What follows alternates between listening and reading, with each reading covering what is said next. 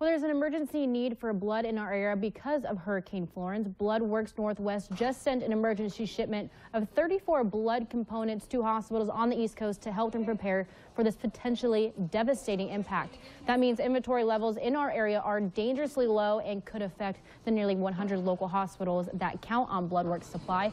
So they're asking donors with O negative, O positive, B negative, and AB negative to donate as soon as possible. Blood is the one thing that you can't, there's no substitute for. So we rely strictly on the, the kindness of, other, of others to donate. And so um, there's not a synthetic substitution for it.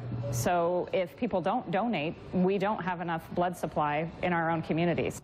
The donation center is located in the 2200 block of Willamette Street.